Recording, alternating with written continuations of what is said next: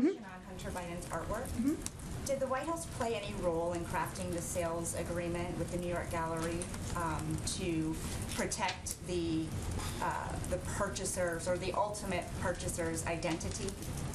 Well, I, I can tell you that after careful consideration, a system has been established that allows for Hunter Biden to work in his profession within reasonable safeguards. Uh, of course, he has the right to pursue an artistic career, just like any child of a president has the right to pursue a career. Uh, but all interactions regarding the selling of art and the setting of prices uh, will be handled by a professional gallerist adhering to the highest industry standards, and any offer out of the normal course would be rejected out of hand. And the gallerist will not share information about buyers or prospective buyers, including their identities with Hunter Biden or the administration, which provides quite a level of protection and transparency. The Or in- gallery owner is a private citizen who might not be privy to who might have some interests in purchasing this artwork.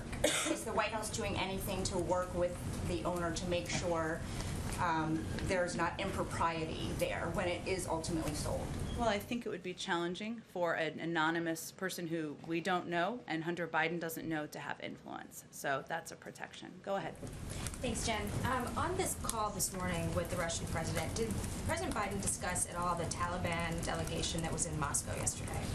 Uh, the the focus of the call and the conversation, which I can tell you was about an hour long, was really primarily on these two topics. I can see if there was anything in addition that was raised, and I can follow up with you after the briefing. And then on the um, Afghan translators, um, does the, the president believe he has any executive authority to determine where these Afghan nationals await their visas? I know that the president said yesterday you guys are working closely with Congress. Want to know what that looks like.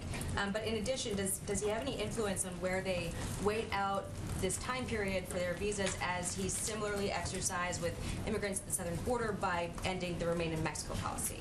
Well, it's a different program, obviously, which I know you're you're conveying. Uh, and what we are trying to determine is U.S. facilities and bases that are located in uh, different parts of the world, uh, where we can house uh, these brave and courageous individuals while they're processing continues. Uh, so that's what we're determining. We have not made a final determination of that. We're trying to also protect for security and operational reasons uh, what that may look like, even when a final determination is made. So I would see it as a different type of a program, and uh, but those are the considerations. And it's already law, so we are we are in a position where we can uh, make a decision to uh, to relocate individuals from Afghanistan to these third party countries.